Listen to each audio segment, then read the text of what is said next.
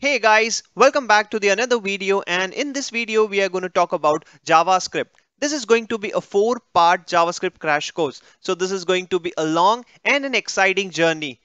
We will cover a lot of JavaScript syntax and fundamentals. So if you are a beginner and looking to start learning JavaScript programming, then I recommend you to watch all the four parts of this crash course and make the most out of it. If you are new, then please check out my other crash courses. I will add the links in the description below. Also make sure you subscribe my channel and press the bell icon so that you don't miss the upcoming videos on JavaScript crash course. So let's get started.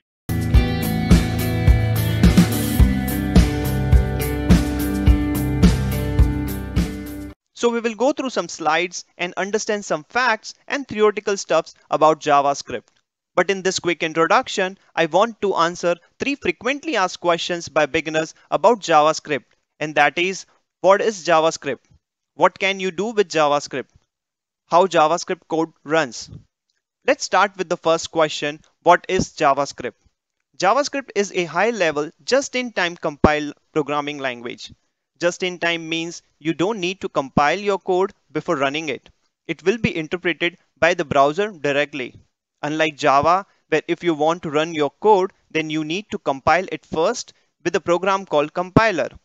And then you can run your code.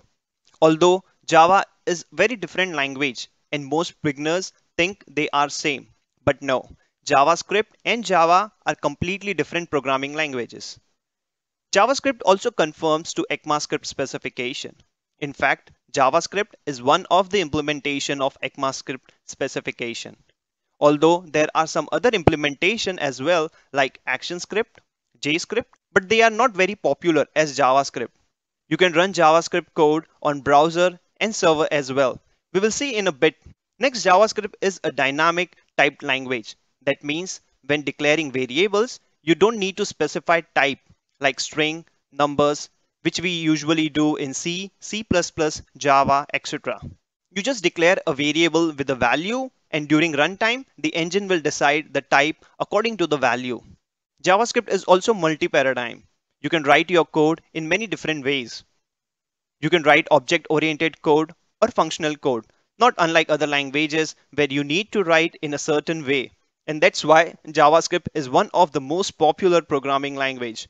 Here are some of the stats published by Stack Overflow, where you can see JavaScript is on the top of the list. And big companies like Twitter, Netflix, Facebook, Google, and Amazon hires a lot of JavaScript developers every year as they have built a lot of applications entirely using JavaScript. Now let's see the second question. What can you do with JavaScript?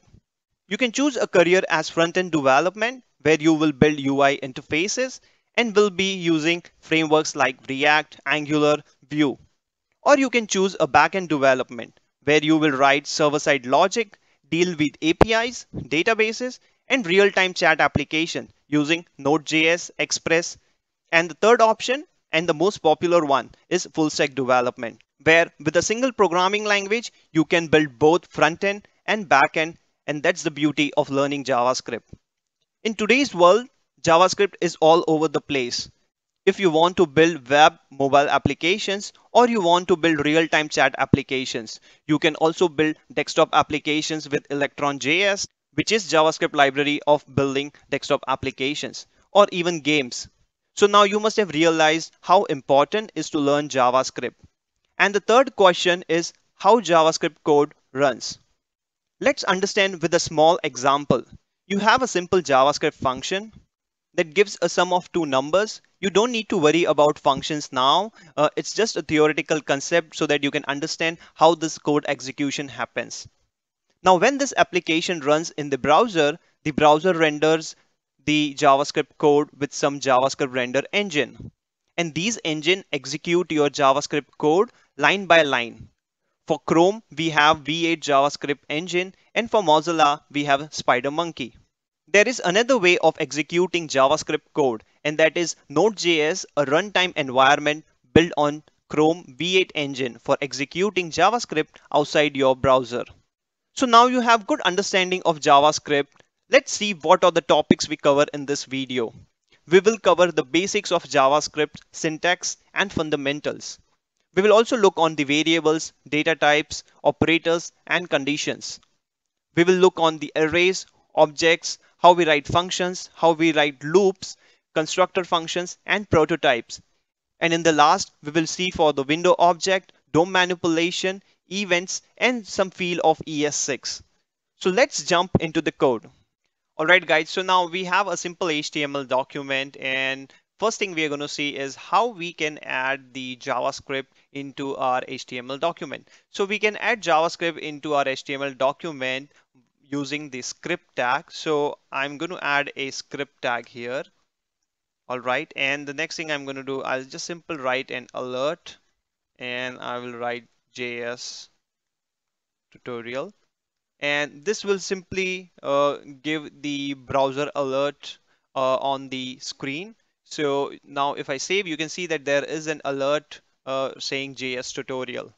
So, so this way you can add your JavaScript code, but uh, usually we never add script tag in the head section because if you have any error in your script tag, then the code execution will stop there itself and your HTML will not render on the screen. So we always uh, avoid adding the script tag on the head section and instead of that we add it in the body section. So we add the script tags at the bottom of the body.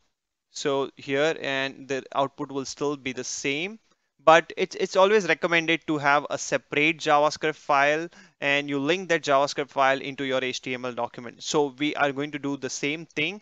So what I'm going to do, I'll just remove this alert and in the script tag, I can add a source and I'm going to give the path of my uh, script file. So currently I don't have any. So let's create a new JavaScript file. So I'll create a new folder. I'll name it a JS and inside the folder I'm creating a new file and I'll name it as script.js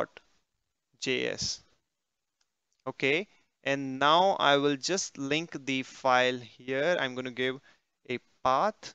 It's in JS and it's in script.js all right, so now we have linked the JavaScript file and now we don't want this HTML file anymore because we are not going to write any HTML for now. We, we are going to do everything uh, in the script file.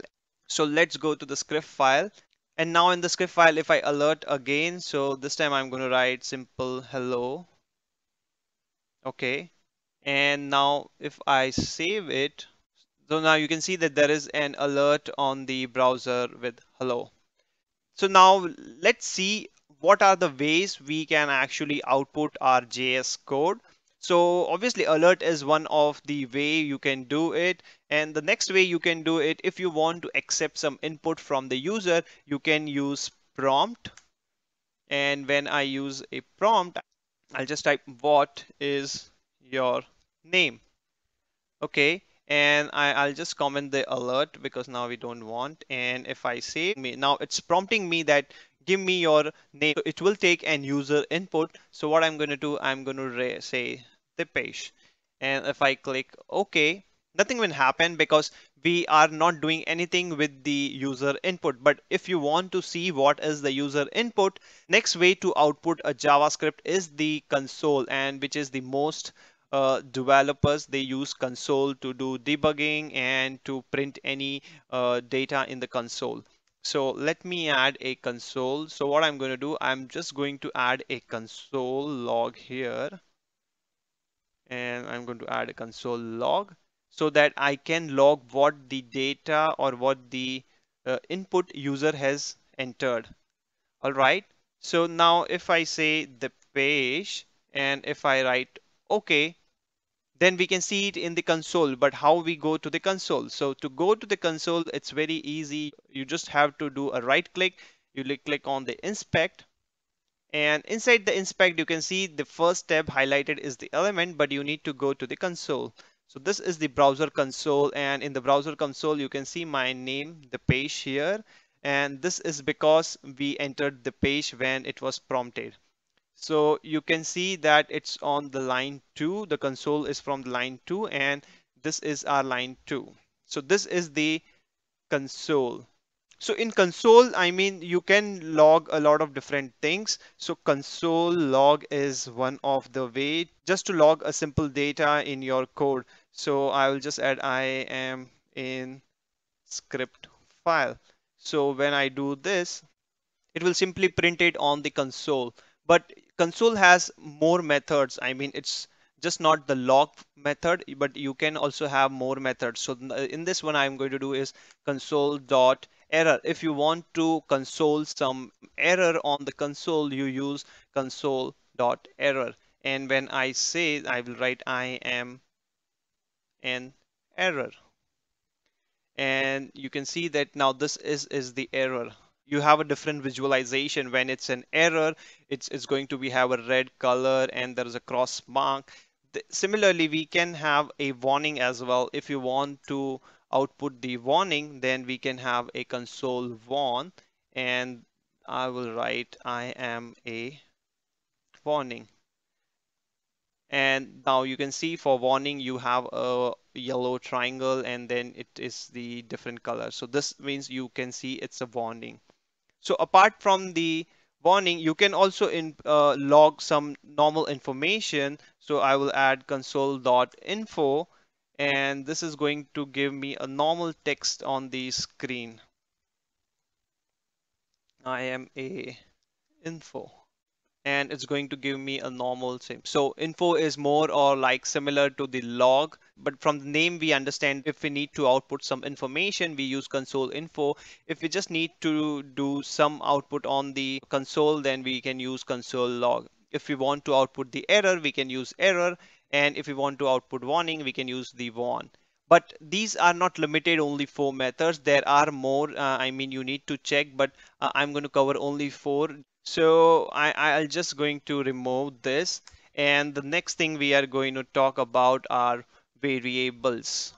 So in JavaScript, you can declare a variable in three different types. So earlier it was var, but when ES6 came, the ES 2015, we say uh, in ES 25 they introduced let and const. So let's see what actually this var is, what is this let and what is this constant and what actually the difference between them, which one to use when and how to use. So what I'm going to do, I'm going to declare a simple variable x equals to 5. All right.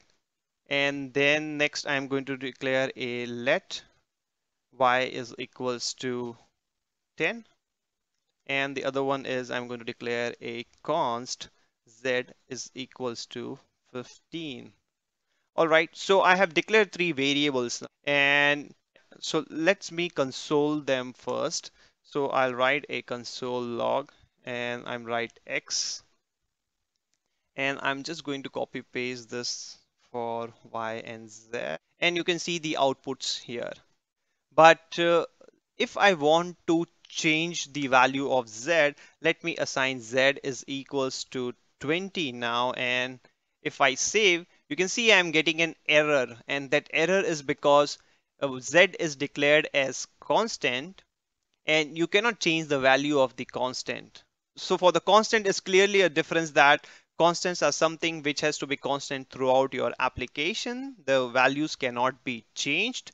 So you declare all the variables as constant and you only change this constant to let when actually you know that this variable has to be changed late execution of the application. So in that case, you just change the const to the let. But now what is the difference between let and variable? So when you declare something as variable or var, it has a global scope. That variable will go to the window object. We're going to see what is the window object later. Just need to understand that when you declare any variable as var, then it, it is uh, having a global scope. But when you declare a variable with the let, it will have a block level scope. So to make you understand the block level scope, what I'm going to do is I'm simply going to have a small if condition. And if it is true, then only I'm going to print the console of X and console of Y. All right. And when I do, so I'm just going to comment this out now. All right. So when I do this, you can see that I, I simply get the same output because the condition is satisfied, it's true, and you will get X and Y. I can declare a let y is equals to 5 here. And I'm going to declare a var x is equals to 6 and if I save this time then the value of x and y will obviously it will change because I have override the values which were previously declared. But when I want to print these two outside of this and in this case I'm going to comment this out all right so when I print this outside the block of the my if condition, you can see that I get an for the line number 17, which is the x.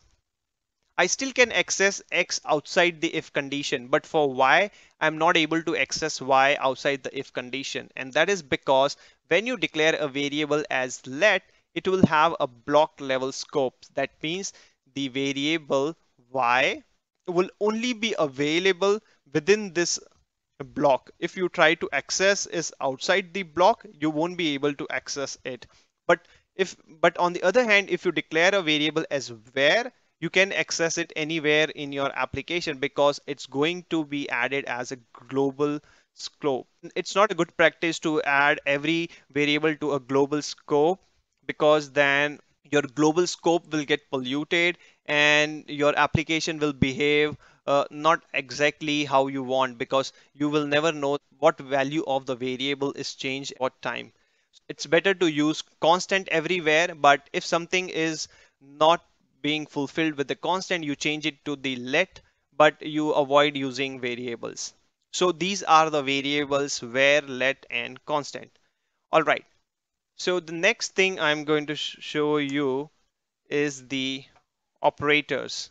So let's see what are the operators. So JavaScript has a simple operators like you have in other uh, programming languages like you can have let me add a console dot log and I'm going to simply add 2 plus 2 all right so these are some of the arithmetic operators and let me go to console back and if I add 2 plus 2 is 4 if uh, I can use the multiplication it's going to give me 4 I can use sub subtraction it's going to give me 0 and I can use divide it's going to give me 1 so these are the arithmetic operators. But apart from these arithmetic operators JavaScript also have an assignment operator. And the assignment operator is if I write const x equals to 10 that means the equals to is an assignment operator and using the assignment operator we actually assign a value to a variable.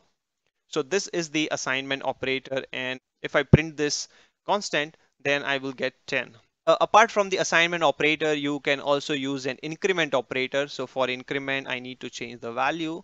Let me change it to var and you add plus plus.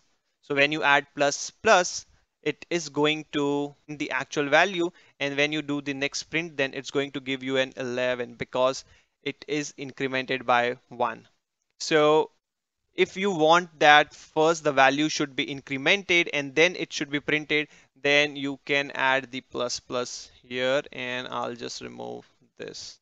So in this case it's going to give me 11 all right. Similarly you can do the decrement operator so minus minus. So first is going to take the current value. It will do a minus minus to it. That means it's going to decrement it by one and then it's going to print the value. So when I save it I'm going to get nine.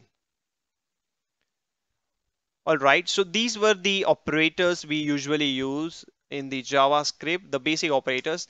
Next thing we will see the data types in JavaScript so JavaScript has primitive data types and non-primitive data types.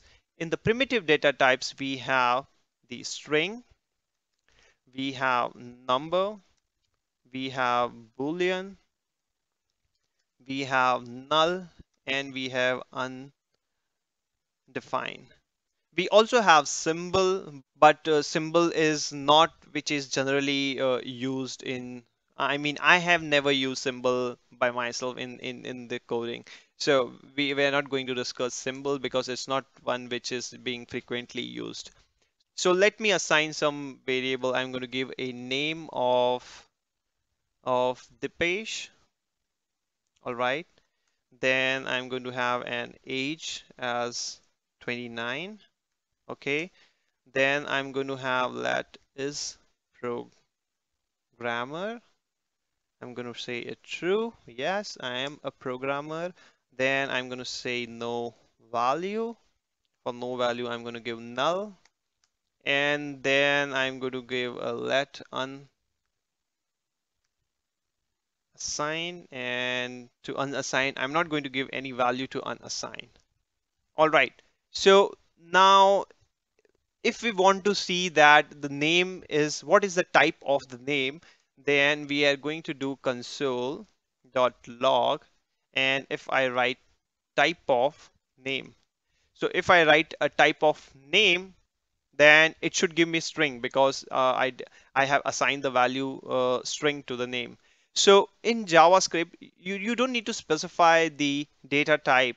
You, you simply specify the value and when actually the code is executed, the JavaScript engine on the runtime, it will decide that it's a string or it's a boolean or it's a number. So if I save it now, it's going to give me a string, which is actually name is a string. So if I want to see about this, then this should give me a boolean. And yes, it's giving me boolean.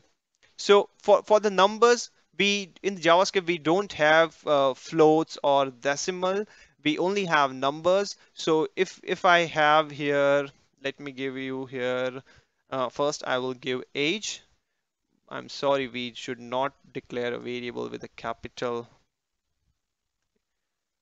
So if I write, if I want to see age, it's going to give me a number. But if I if I write minus one, then also it's going to give me a number. Or if I write 0.5, it will still be a number because JavaScript doesn't have floats or decimals. It treat everything as numbers. So let me show you if, if we see the type of no value, then it's not going to give me a null. It's going to give me an object because type of null is object and you don't ask me why why the type of null is object is actually a gotcha. Uh, so it's an exception in javascript that when you try to check the type of a variable which is having a null value it's going to give you an object. So let me check for the type of unassigned and I haven't assigned a value to an unassigned variable. So whenever you declare a variable by default, you have an undefined value in it. And when you add the value to it, then it takes the value. Otherwise, it will always give you an undefined as its value. All right. So, so this is why we say that JavaScript is a dynamic type language because uh, you don't need to specify the type of the variables when you declare the variables.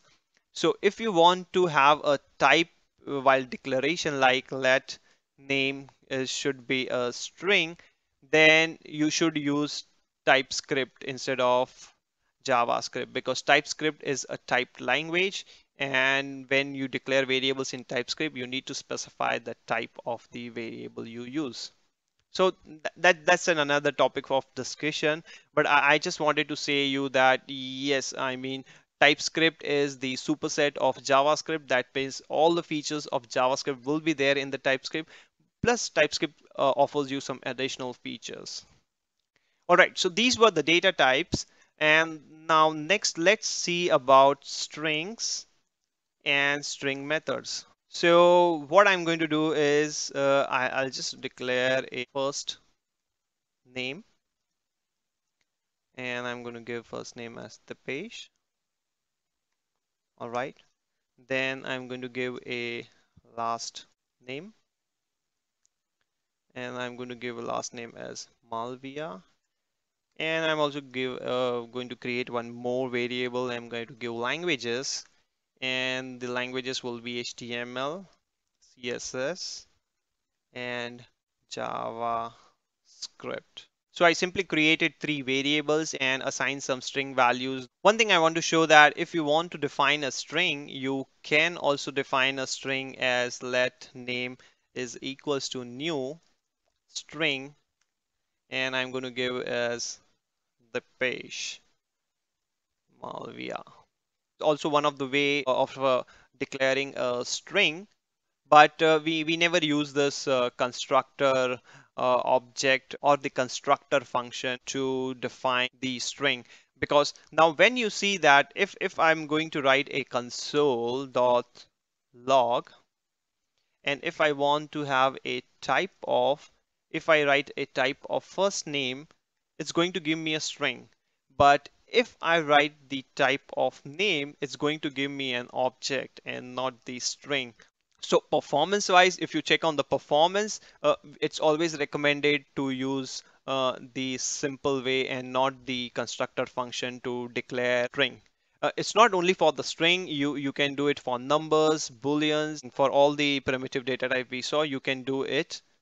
All right so we, I just remove it because we don't want this part.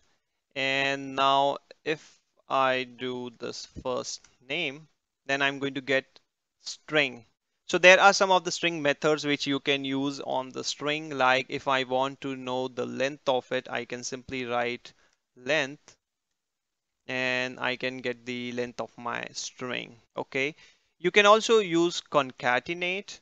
Uh, so if I want to concatenate then I can use concatenate method and then uh, I can use last name. So this is going to concatenate and the other way you if you want to concatenate is uh, you can use it is my first name is then if you want to concatenate it with the variable then you then you put a plus sign here okay? And then you add your variable first name.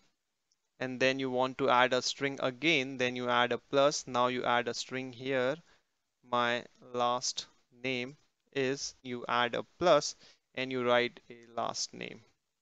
And this is going to give that my first name is Dipesh my last name is the page. But there is a better way of writing using a template literal and that es6 way is uh, it's very easy. You write console dot log and you use backticks and in the backticks you can simply write my first name is and when you have to uh, have a variable value here you add a dollar sign then you add a curly brace and you enter the variable name. And then you simply write my name is Dipesh and my last name is you can dollar and then you can add your last name. And it's going to give me the same way so this is a much uh, better way of writing you, you avoid all the plus signs and then quotes and again plus sign and again quotes so now let's see some of the string methods which we can use if you want to have a substring of the complete string then you can do that as well. So there are some of the methods in the string which you can uh, play around with the strings. So what I'm going to do, I'm going to have a language and I'm going to do a substring. Okay, and on the substring, from where I want to have the substring. So I need to give the first argument as a start. Uh, so I'm going to give it from one. And if I save it, it is going to start from the one. That means the index of h is zero, the index of t is one, and I need a substring which is starting from one. So that's why it's starting from tml. And you can also add the second argument, these starting from the one, how many characters you want more. So if I add that from one, I want five characters more. So that is going to take that from one, which is one, two, three, four, five and the fifth one is a comma and then the space. So if I write a 6 here, I'm going to get uh, the string till C.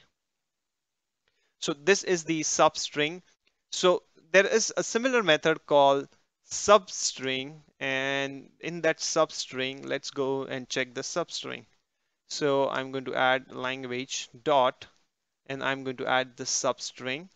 But in the substring, you you add the first and the last and it only picked the values in between not including the last one so let me give you 1 comma 6 so when I give 1 comma 6 that means start from the first index and go to the sixth index, but don't include the sixth one. So that means if I start from the first index, which is T, and C is the sixth one. In substring, the last index is not included. That means C will not be included here.